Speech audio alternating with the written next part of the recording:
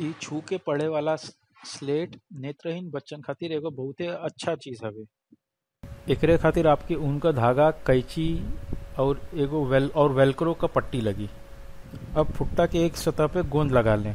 Velcro का पट्टी का दू गो सतह वाला, एगो काटा वाला और दूसर कापूस वाला। अब फुट्टा पे लगल भइल गोंद पे वेलक्रो का काटा वाला का हिस्सा चिपका लें। ई बच्चन खातिर ड्राइंग स्लेट बन गईल जे पर वो चित्रकारी कर सके ना।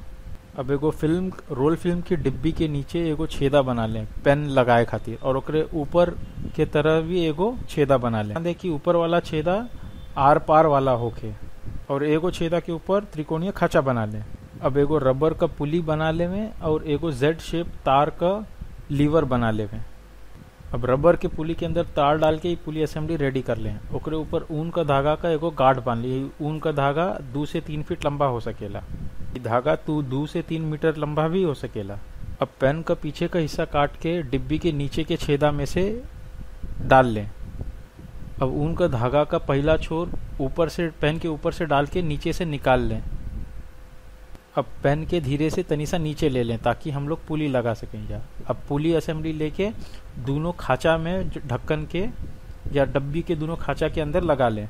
अब अपन क्रैंक असेंबली रेडी हवे। अब तार के घुमैले से ऊन का धागा ऊपर लपटा जाए। ई क्रैंक मछली पकड़े खातिर लकड़ी का तार के जैसन हवे।